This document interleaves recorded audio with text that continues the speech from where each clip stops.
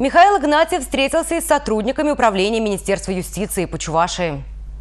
На встрече подвели итоги работы ведомства с начала этого года. В Федеральном регистре нормативно-правовых актов Чувашии содержится более 10 тысяч правовых документов. Из них действующих больше половины. Управление постоянно проводит различные юридические и антикоррупционные экспертизы документов. С января этого года было рассмотрено более 460 проектов нормативно-правовых актов. Зарегистрировано около 300 уставов муниципальных образований. Ведомство ведет государственную регистрацию некоммерческих организаций, а также контролирует их деятельность деятельность. Временно исполняющий обязанности главы Чувашии Михаил Игнатьев высоко оценил деятельность управления и выразил уверенность в дальнейшем сотрудничестве с органами власти республики.